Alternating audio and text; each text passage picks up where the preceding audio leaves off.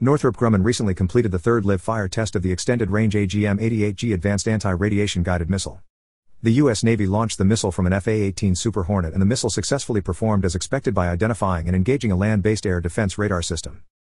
The defense contractor obtained low rate initial production in September 2021 and is supporting the initial operational capability fielding trials. The missile is being integrated on the Navy FA 18E and FA 18F Super Hornet and EA 18G Growler aircrafts, as well as the F 35 aircraft. The AGM 88G missile is the most advanced missile available for pilots to use against modern surface to air threats. The extended range missile is a major upgrade to existing advanced anti radiation guided missile currently in production and fielded with the U.S. Navy and other allies.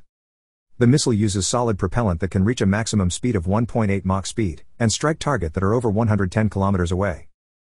Thanks for watching, and for more updates on defense economics, finance, and geopolitics, please subscribe to our channel.